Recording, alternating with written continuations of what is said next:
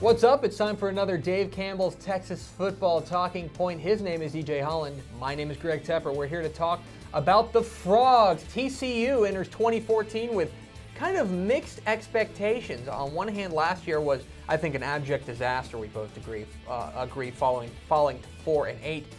But this offense is going to look. I guess that's the question. What is this offense going to look like?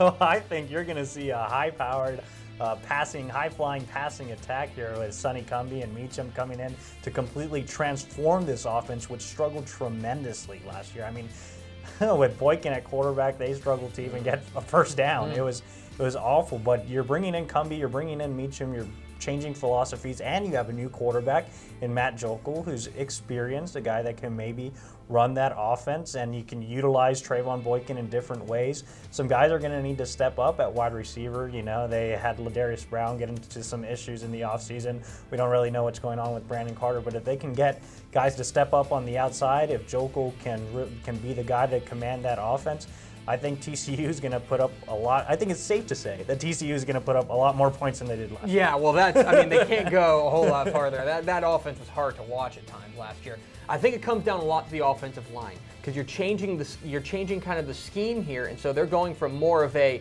you know hand on the ground, you know, blow you off the ball type situation to a pass pass protection situation. It's going to be interesting to see how the offensive line react and keep an eye on BJ Catalon on the running back. I want to see how they're able to utilize him. We're all talking about Matt Joeckel, and we both expect big things from Matt Joeckel uh, coming in to start for TCU. But I wonder, you know, how how much that running game is going to get going because that's a, that's something that that uh, TCU coach Gary Patterson really prides himself on is running the ball. How much is that? How much are they going to find that fit between what uh, Doug Meacham and Sonny Cumbie want to do and maybe the tradition that uh, Gary Patterson has done? But then again, I mean, if he wanted to go with the traditional guys, he would have hired somebody else besides Doug yeah, Meacham and Sonny Cumbie. Yeah, he wants to open it up. I think you'll see Catalon get some carries, and I think he's a good fit for that offense because he's, he's, not the biggest guy in the world. He's quick, he's shifty, he can catch some balls out of the backfield.